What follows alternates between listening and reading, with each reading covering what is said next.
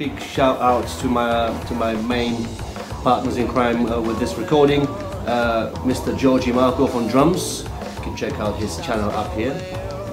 And my brother from another mother, Leo Playa, on guitars and lead lips. And you can check out his channel here too.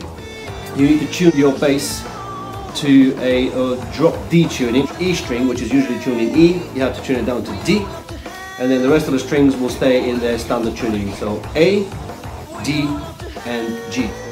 Also, you will need some sort of a distortion pedal for the end of the song. Don't forget to subscribe and hit that little bell button so you get notifications for my next stupid video. Alright.